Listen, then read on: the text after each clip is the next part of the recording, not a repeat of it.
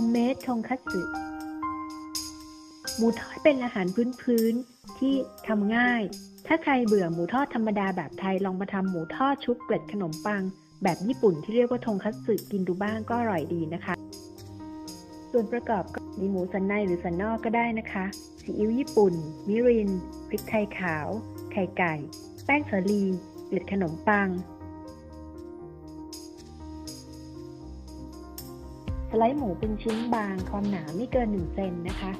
หมักหมูค่ะ ด้วยซีอิ๊วญี่ปุ่นมิรินพริกไทยขาวนิดหน่อยนะคะ บางใช้เวลาหมักประมาณ 1-2 ชั่วโมง โดยแช่ไว้ในตู้เย็นนะคะ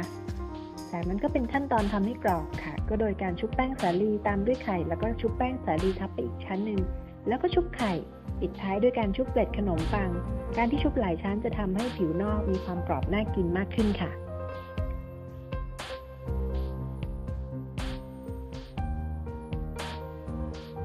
ก็ตั้งน้ำมันให้ร้อนค่ะนำหมูที่เตรียมไว้ลงทอด ใช้ไฟอ่อนๆนะคะ